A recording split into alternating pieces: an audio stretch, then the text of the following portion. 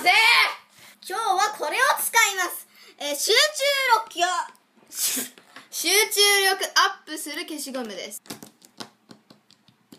リフレッシュして集中力アップができるミント。ミントの香りでアロマテラピーだって じゃあ開けましょう。はい、どうぞ。よし、ちょっとに匂ってみよう、匂ってみよう。ああ、もうゴミ。どうどうどうどう。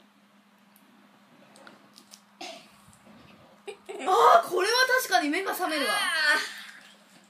目覚める、ね、なんかミントを食べた感じがする。そうそうそう。スースースーするよスースー鼻がスースーする。えー、何これ。怖っ。何この字。あの読み仮名振った方がいいよね。準備する。準備する。え。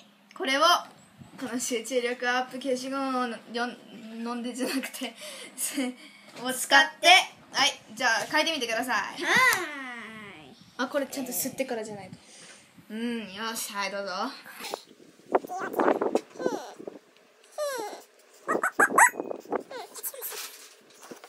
うんどうぞ。わからん。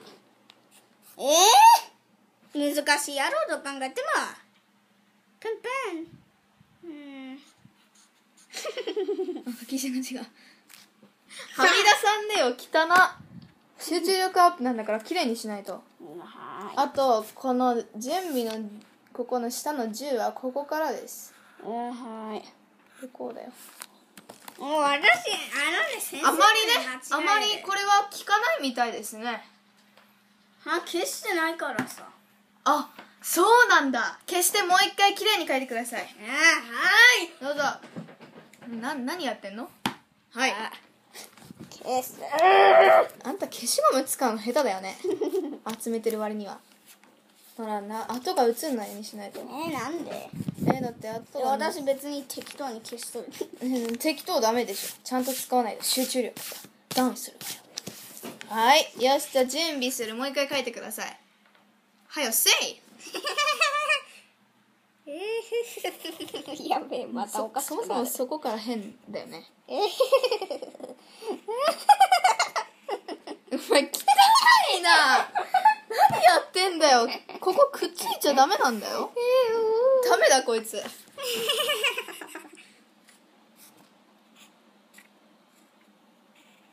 あのさ綺麗に書くっていうことは鉛筆を強くし使った方がいいっていう意味じゃないんだよ。もう、はいどうぞ。まあまあでしょおおなんかえらいカクカクやね。あのね笑ってること自体がねあの集中してないっていう印。ケイタ先生はどういう時準備するんですか？うーん。トイレに行くときに。えじゃあこここここ1個開けてでここにケイタ先生の好きな文を書いてください。先に匂ってくださいこれ。はい。だっただ早く書けえー、っと